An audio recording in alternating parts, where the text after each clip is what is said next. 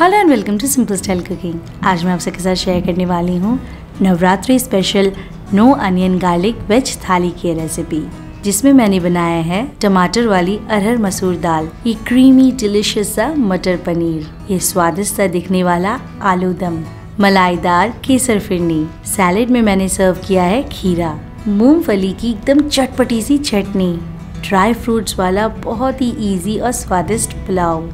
और ये गर्मा गर्म और फूली फूली पूड़ियाँ। तो अगर आपको मेरी आज की रेसिपी पसंद आती है तो प्लीज़ मेरे चैनल को सब्सक्राइब कीजिए वीडियो को लाइक कीजिए और मेरे वीडियो को अपने फ्रेंड्स और फैमिली में ज़रूर शेयर कीजिए। तो चलिए रेसिपी बनाना स्टार्ट करते हैं। सो लेट्स बिगिन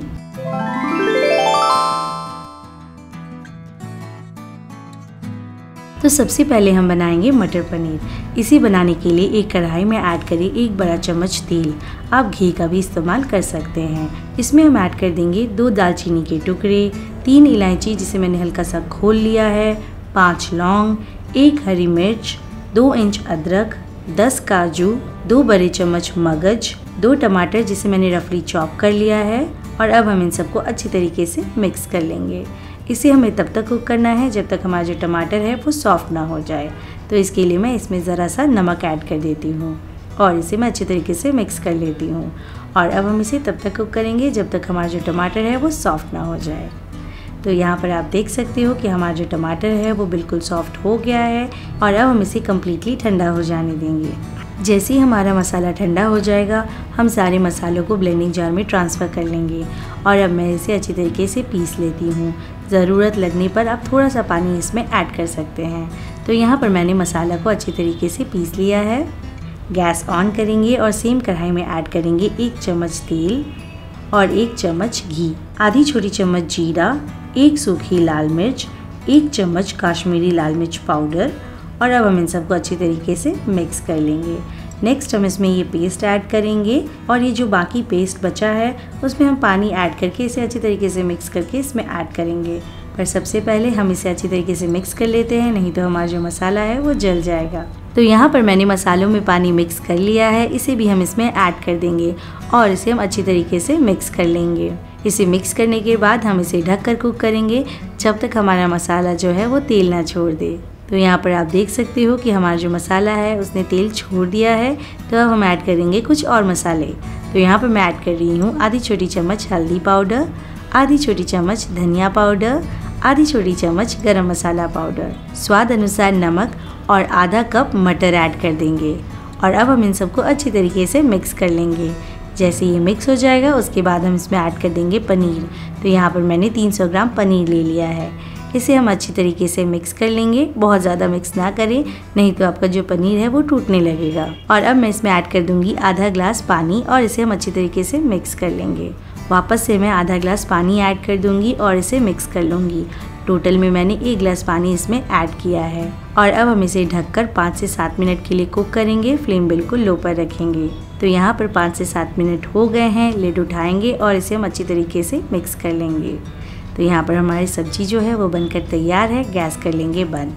और अब मैं इसमें ऐड करूँगी एक चम्मच कास्तूरी मेथी और एक बड़ा चम्मच फ्रेश क्रीम और इन सबको हम अच्छी तरीके से मिक्स कर लेंगे। तो यहाँ पर हमारा स्वादिष्ट दिखने वाला मटर पनीर बनकर तैयार है। और अब हम चलते हैं इसकी नेक्स्ट प्रोसेस में।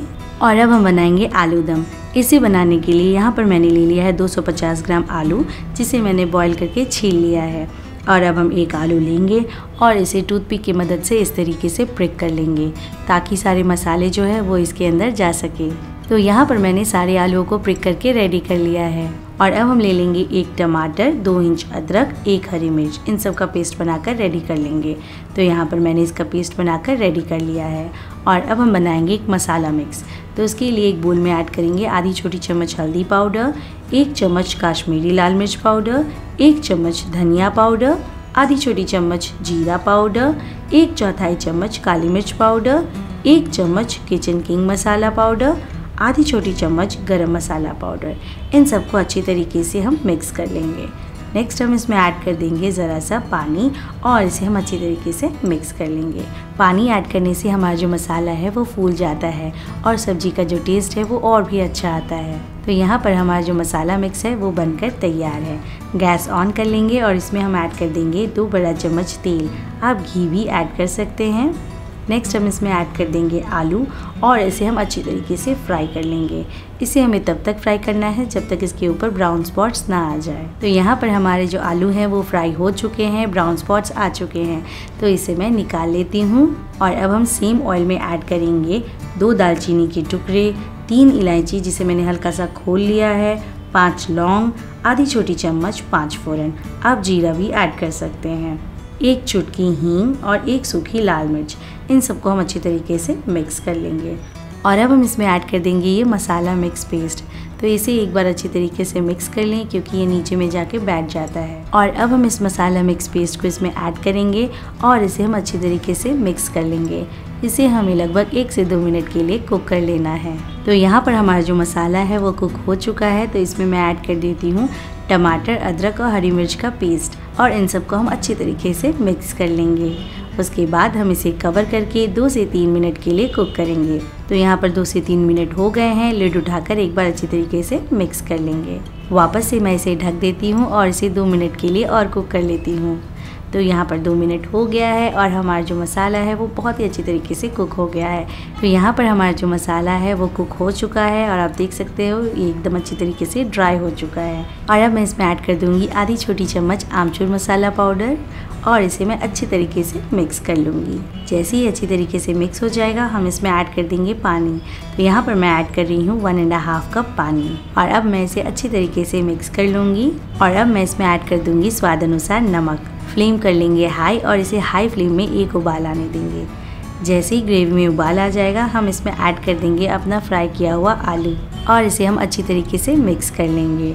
और अब हम इसका फ्लेम कर लेंगे लो और इसे ढक कर पाँच से सात मिनट के लिए कुक करेंगे। तो यहाँ पर हमारा जो आलू दम है, वो बनकर तैयार है। तो इसमें मैं ऐड कर देती हूँ एक चम्मच घी। गैस कर लेंगे बंद और इसे हम अच्छी तरीके से मिक्स कर लेंगे। और लास्ट में हम इसमें ऐड कर देंगे धनिया पत्ता और इसे ढक देंगे। तो यहाँ पर हमारा आलू दम जो है बनकर तैयार है। और अब हम चलते हैं इसकी नेक्स्ट प्रोसेस में। और अब हम बनाएँगे केसर फिरनी। तो इसे बनाने के लिए यहाँ पर मैंने ले लिया है एक चौथाई कप चावल। यहाँ पर मैंने छोटे दाने वाले चावल लिए हैं। इसमें हम ऐड कर देंगे पानी और इसे हम अच्छे तरीके से वॉश कर लेंगे। इसे आप एक से दो बार अच्छी तरीके से वॉश कर लें। उसके बाद आप इसमें ऐड कर दें पानी और इसे फूलने के लिए छोड़ दें लगभग आधा घंटे के लिए। आधे घंटे के बाद इसका जो एक्स्ट्रा पानी है वो हम निकाल देंगे और इसे हम ब्लेंडिंग जार में ऐड कर देंगे और इसे हम दरदरा पीस लेंगे। तो यहाँ पर मैंने इसे पीस लिया है और ये देखिए, ये कुछ इस तरीके से दिख रहा है। एकदम स्मूथ पेस्ट नहीं बनाना है हल्का सा दरदरा ही रखना है। और अब मैं इस पेस्ट को एक बोल में ट्रांसफ़र कर लूँगी और बाकी जो ब्लेंडर में लगा हुआ है, उसमें पानी ऐड करके इसमें ऐड कर देंगे। और इसे मैं अच्छी तरीके से मिक्स कर लूँगी। तो यहाँ पर हमारा चावल का जो पेस्ट है वो बनकर तैयार है। और अब हम एक कढ़ाई लेंगे और इसमें हम ऐड कर देंगे एक लीटर फुल फैट मिल्क और उसके बाद हम ये चावल का पेस्ट ऐड करेंगे और एक चौथाई चम्मच केसर के स्ट्रैंड्स ऐड करेंगे। और इसे हम अच्छी तरीके से मिक्स कर लेंगे। इसे हमें इसी तरीके से लगातार चलाते रहना है। बीच में आप बिल्कुल ना छोड़ें, नहीं तो ये नीचे में जाकर लग सकता है। जब ये इस तरीके से हल्का सा गाढ़ा हो जाएगा और आपको चावल के दाने इस तरीके से दिखने लगेंगे, तब आपको इसमें ऐड करना है आधी छोटी चम्मच इलायची का पाउडर और चीनी।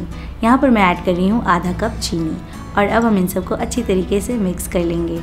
और इसे हम लगातार इसी तरीके से चलाते हुए कुक करेंगे जब तक कि अच्छी तरीके से गाढ़ा ना हो जाए और इसमें से बबल्स इस तरीके से दिखने ना लगे। तो यहाँ पर हमारी केसर फिरनी जो है वो बनकर तैयार है। तो हमें पता कैसे चलेगा कि हमारी केसर फिरनी जो है वो बन गई है?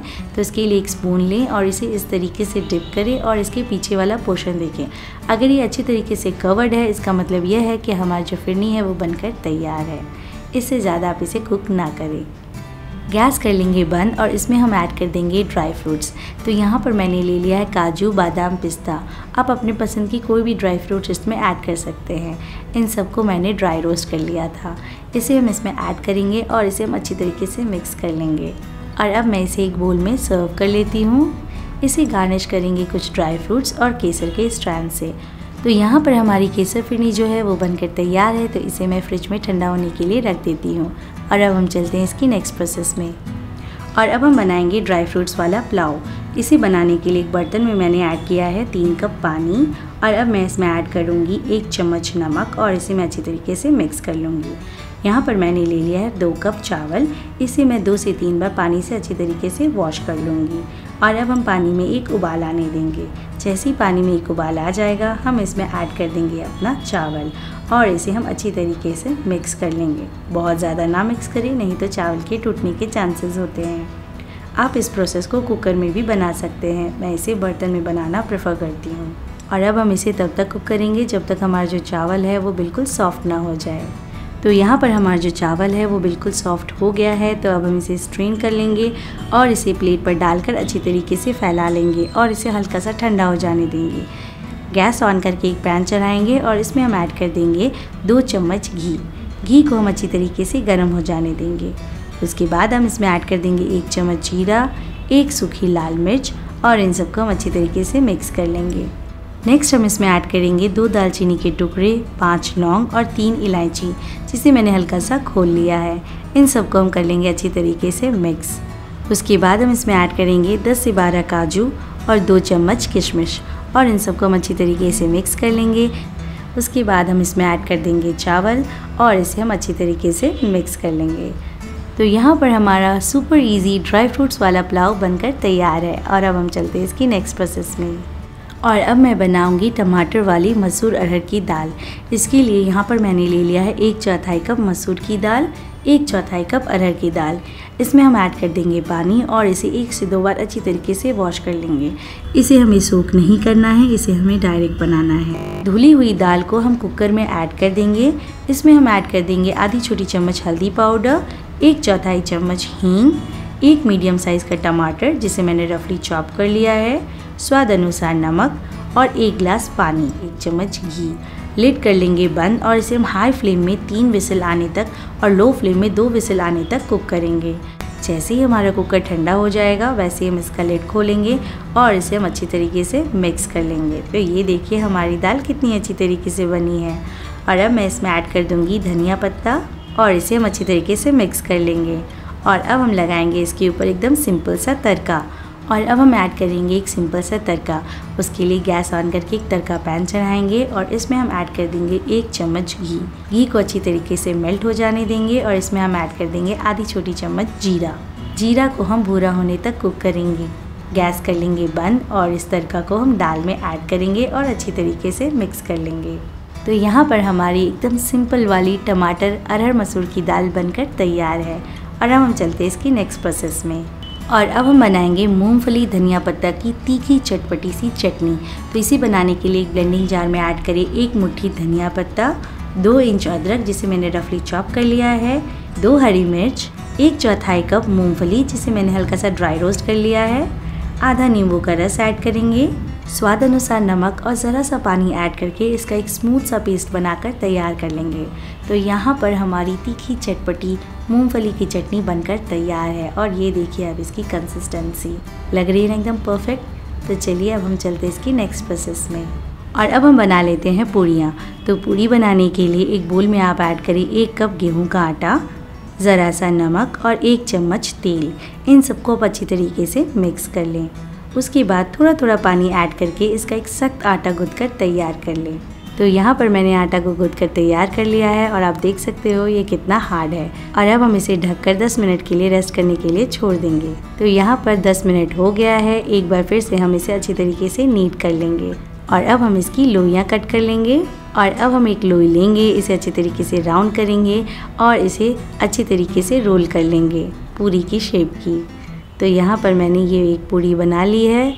सेम इसी तरीके से दूसरी बनाएँगे। और ये तीसरी बनाएँगे और अब हम इसे फ्राई कर लेंगे। गरम तेल में पूड़ी को डालेंगे और इसे इस तरीके से गोल गोल घुमाते रहेंगे। जैसे ही हल्का सा फूल जाएगा, उसके बाद हम इसे पलट लेंगे और दोनों तरफ़ हल्का सा भूरा कलर आने तक हम इसे फ्राई करेंगे। तो यहाँ पर हमारी एक पूरी जो है वो फ्राई होकर तैयार हो गई है। सेम इसी तरीके से ये दूसरी पूड़ी और ये तीसरी पूरी भी फ्राई कर लेंगे। तो यहाँ पर हमारी सारी डिशेस जो है वो बनकर तैयार है तो अब हम इसे सर्व कर लेते हैं। तो चलिए सर्विंग के प्रोसेस में। तो सबसे पहले हम सर्व करेंगे ये टमाटर वाली अरहर मसूर दाल। ये क्रीमी डिलिशियस सा मटर पनीर। ये स्वादिष्ट सा दिखने वाला आलू दम। मलाईदार केसर फिरनी। सैलेड में मैंने सर्व किया है खीरा। मूंगफली की एकदम चटपटी सी चटनी। ड्राई फ्रूट्स वाला बहुत ही इजी और स्वादिष्ट पुलाव। और ये गर्मा गर्म और फूली फूली पूड़ियाँ। तो उम्मीद करती हूँ कि आपको मेरी आज की रेसिपी पसंद आ रही है। अगर पसंद आ रही है तो प्लीज़ मेरे चैनल को सब्सक्राइब कर दीजिए वीडियो को लाइक कीजिए और मेरे वीडियो को अपने फ्रेंड्स और फैमिली में ज़रूर शेयर कीजिए। Thanks for watching bye bye